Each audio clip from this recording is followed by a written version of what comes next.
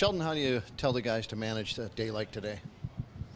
just about treating it like any other day. You know, as difficult as that may be, uh, that is what, what we need to do here. Um, we're here for a reason, you know, and that's because of how we've played and how we've prepared, and we have to make sure that we're doing the same things.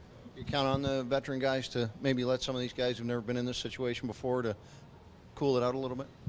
Yeah, for sure. I mean, uh, you know, that's again part of the reason why we're here is because those guys have done that throughout the season, and uh, you know, it, it has continued and it will continue throughout the day. Not a lot of penalties called in the last few games. Uh, preferable way to play at this time of the year? Well, you know, when you, when you play to this point here, and you know, with everything that's at stake, you, there is an expectation that the game's called a little bit differently, and you know, just that they're going to let the two teams sort of sort it out and figure it out. Um, so we're prepared for that. We're prepared for if in the event that there's calls that we have to kill penalties and we have to score a power play goal, all those types of things. You just you deal with whatever comes your way. But uh, certainly at this stage, we're we're past getting frustrated about anything that might not be getting called and just trying to play the game. Is there any change to Travis Dermott's status, and do you think he can, he can go tonight?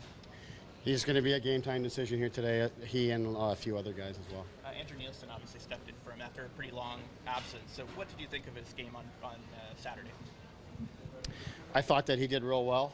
Uh, you know, when, we spotted it, spotted him in, uh, he moved the puck well, played confidently, had some scoring chances, hit a post in the first period.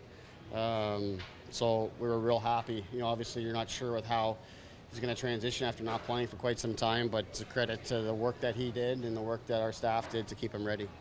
They put extra seats in for the games. That make you feel good, like you've tapped a nerve here, and that you're Toronto's team and Canada's team and all that. Well, I don't know about all that, but you know, it's it's nice that you know that there's a demand and that people are excuse me, people are taking notice. So you know, that's that's good. That's exciting. But again, the, the focus and the emphasis for us is just on our game and preparing to play.